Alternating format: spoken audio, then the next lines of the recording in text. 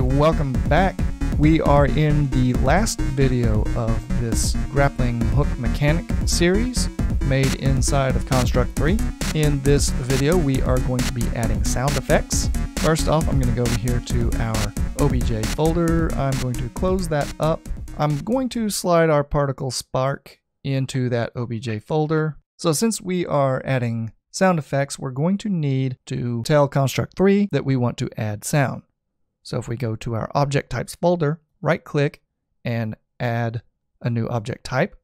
Scroll down towards the bottom in our media category, we have audio. Let's insert that. And I'm going to slide that into our input folder. So we should have our audio, keyboard, and touch objects in that folder. Now we can import our sounds. So down here we have sounds and music. They are different Files in the sounds folder will load with the game, and then music streams from outside the game.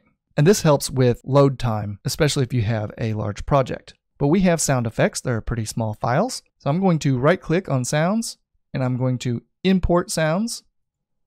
Now, if you have your sound effects open in a window, you can drag and drop them directly in here, or you can come up here to import audio. I am going to choose import audio. In the assets I provide, there should be an audio folder. Inside that audio folder, we have, I believe it is eight sound effects, grapple connect, fail, launch, retract, grunt one, two, three, and landing. So I'm going to highlight all eight and open those. They loaded pretty quick. They're very small file sizes. Once they're all loaded, we can import. And there they are. We have all eight sound effects in our sounds folder. So now we can put them in the game. So the first one I'm going to do is when our player jumps, I'm going to give them a grunting sound effect. If you followed along with the Castle Run tutorial on this channel, you will recognize this. We're going to set it up the same way we did in that one. We're going to use a function to randomize which grunt sound effect is played when the player jumps.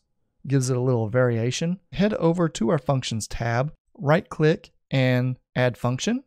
And I'm going to call this jump grunt. And then I'm going to right click on the function and add parameter. And this is going to be called grunt. And it is a number. This basically adds a local variable that can only be accessed through this function. So now I'm going to set up the code to play each one of these grunt sound effects and we're going to do it through a sub event of our function. So highlight the entire block and press B on the keyboard. That'll give you a blank sub event. Then we can double click on that, go into system, and we want to compare a variable. And that variable is going to be grunt, the one we just created. And when it is equal to zero, now I'm going to highlight that entire event, that sub event, and Control C to copy, Control V to paste, and Control V to paste one more time. So we should have three. On the second one, I'm going to double click, go in, change the zero to a one. And the last one, I'm going to change the zero to a two. Zero is counted as a number as well, so we have zero, one, and two. So on grunt zero, I'm going to add an action, go into our input, grab our audio, play, and I want to play grunt 1. We'll leave the volume at 0. Go down to grunt number 1, add an action, input, audio play, and we'll get grunt number 2. And then on our last one, add an action, input, audio, play, grunt 3. I'll hit done. So now each one of our grunt numbers plays a different grunt sound. Back in our event sheet, let's go into our player controls and I want to put this in with our player jump. I don't know how this got past me, but what we have going on here is checking while the W key is down to jump, and we don't want that. Up here we have a triggered event. Triggered events are referenced by these green arrows. That means it happens one time each time this is carried out. So when we press the A or the D, we set the player object to mirrored and not mirrored. But while A or D is held down, we simulate control. This happens for as long as this is being held down. This needs to be a triggered event. Double click into this and we can hit the back button and instead of key is down, let's change that to on key pressed. That will help us out with playing the sound as well. We can call our function. When the W key is pressed, we jump.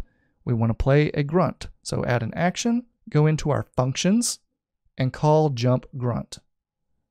Now I want this to choose a random grunt, grunt 1, 2, or 3 each time the player jumps. So we're going to use an expression called choose, and then we put some values in between parentheses. And those values are going to be 0, comma, 1, comma, 2, end parentheses. These are the 0, 1, and 2 that we set up with the variable inside our function. So it's going to choose one of those three each time the W key is pressed. So after we jump, we land, and we have a landing effect. I am going to actually put this right below our player jump code. So I'm going to just right click in this blank area right here, and I'm going to say add, and then insert below. Now I want to check to see when our player is on the ground. So we can go grab our player and scroll down to the platform behavior, and we have a check right there to see if they're on the floor. Before we go any further, I'm going to separate this with a comment. So I'm just going to highlight one of these, copy it, drag it down, and I'm going to go in and change landing on floor. Makes it easier to find. So when the player lands on the floor, I'm going to add an action, go to our input, audio, play, and grab our landing sound effect, and I'll leave that at volume zero we have a problem. I'm not even going to test this out because this is saying while the player is on the floor to play this sound effect. So what's going to happen is it's just going to keep playing over and over again while this is true. So just the same way we did with our W key, we need to make this a triggered event. But we don't have a triggered event available for the platform is on floor but we do have a way to make it a triggered event. So in the area below this event, double click on it, and we can go into system and type in trigger once while true. All right, I'm going to test this out. I know of one more thing we need to fix, but we'll test what we have now. So we have a, our jump grunt. So you can hear the variation in the jumps, or the grunts. And when he lands, we have our landing sound effect. Now a problem that we will have, I'll see if I can get it to do it here. So you can hear every time he makes contact with the floor collision, we're getting that sound effect. And it's when we're swinging through the air. So we have something we can check for to prevent that. And that is going to be this variable that we created that lets us know that our player is on the vine. So when our player is not on the vine, then we want to be able to play this sound effect. So let's click over in this area, double click, and then we can go grab our player. And we're adding another condition to this event. We want to scroll down to compare instance variable, and we want to know when on vine is false and that's zero. So now, when we're touching the floor and we're not on the vine, then we can play. We'll go ahead and test that out real quick. And it's not playing anymore. But if I jump off, it plays. All right. Okay, I'm going to close up player controls and open up grappling launch. I have a sound effect over here called grapple launch. So when we launch that target, I want the launching effect to play. So let's add an action to this top block in our grappling launch group.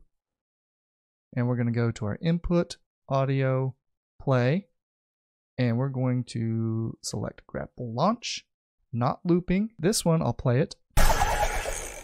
This actually comes in pretty loud in comparison to some of the others, so I played around with the volume. I'm going to go with negative 6 and we're going to need to set up some tags because we're going to need to reference this sound effect in another event. So in between quotation marks, we can create a tag. I'm just going to call this launch. And whatever you choose to type in here, one, make sure it's in between quotation marks, and two, make sure you remember how it's spelled because we have to get it exactly like it is when we reference it. Okay, so let's hit done. And I'm going to move this all the way to the very top of that block. So that takes care of launching it. So we're not going to need that. Let's go down to collisions. When we make contact with the floor, we have another sound effect we can play. It is grapple fail, but we're also going to need to stop our grapple launch because that grapple launch, as you heard earlier, is kind of a long sound effect. So if we make contact before the sound effect is done playing, all these sound effects are going to be playing on top of each other. So we need to first stop the launch sound effect and then play the grapple fail sound effect. And up here, we have on collision with the floor or traveling more than 500 pixels. If it travels more than 500 pixels, it can keep playing. The, the launch sound effect can keep playing and it'll just play out. We're going to make a new event with this. So if we right click in this area and we say add and insert above, select our grappling target, and we're going to say on collision with another object, and that object is going to be the floor. We can add an action. Let's go to our input, grab our audio, and I want to stop. And it gives us the opportunity to put in a tag. And we're going to reference what we want to stop, and that is the one we just created, which was launch. Make sure it is spelled exactly the same as you did on the other one, and that it is in between quotation marks. And now we can add another action, go to input, audio, play, and play our grapple fail. Now this one, it comes in pretty loud, and I went with a negative 8. I'm going to test that out. There's our launch. And then you see it cuts that launch off and then plays that fail.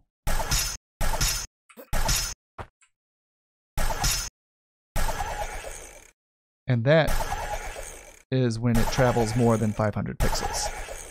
So, okay, the next one is going to be when our target connects. We have another one over here, grapple connect. In this top block of our on collision with the target collision, I'm going to add an action. We need to stop that launch sound and play our connect sound. So go to input, audio, stop, and in between the quotation marks, we're going to put in that launch tag, and then we can add an action, input, go to audio, play, and we want grapple connect. And I'm going to leave that one at zero. We'll play that.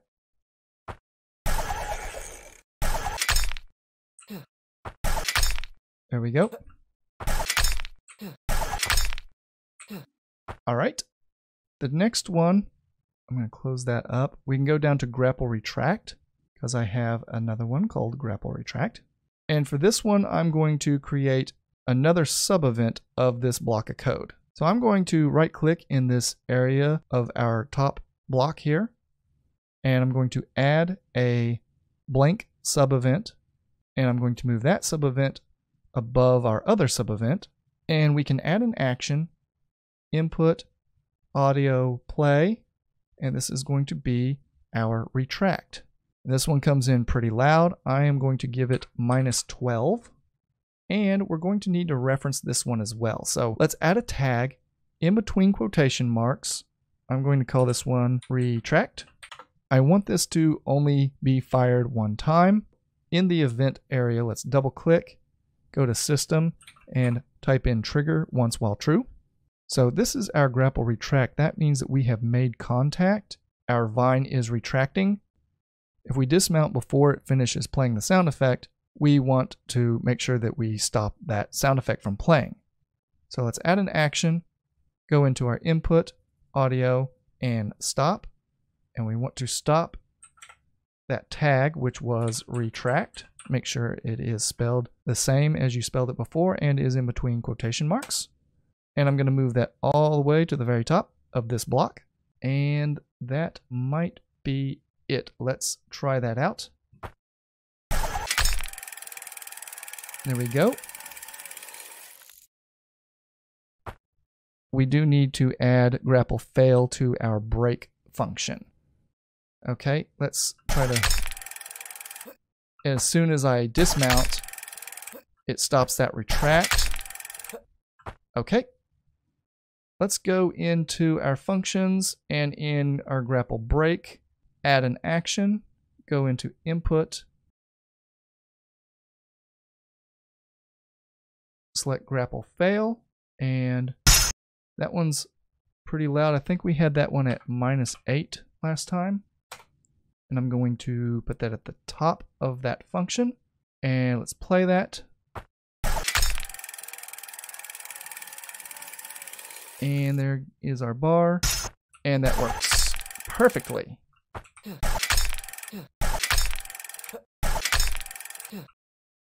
That is the project. That ends it for me. I am off to figure out what my next project is going to be. If you have any suggestions or requests, feel free to drop those in the comments. Also, if you enjoy these tutorials, help me out by hitting that subscribe button. A couple of thumbs up here and there lets me know that I'm doing something you like, and I will continue on doing it. I hope you enjoyed it, and I will see you in the next tutorial series. Thanks for watching.